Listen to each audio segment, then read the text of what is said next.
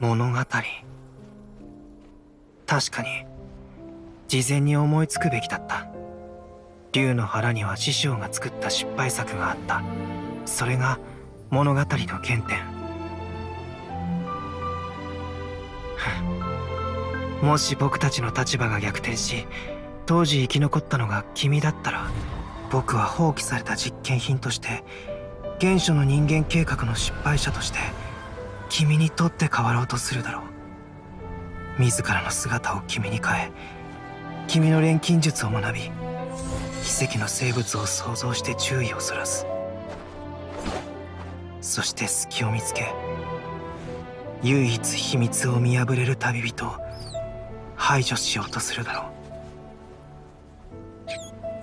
そうすれば僕はこの世に生まれた喜びを取り戻せる。